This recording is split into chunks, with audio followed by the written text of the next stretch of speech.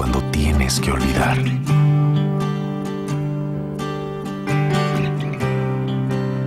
Cuando tienes que seguir.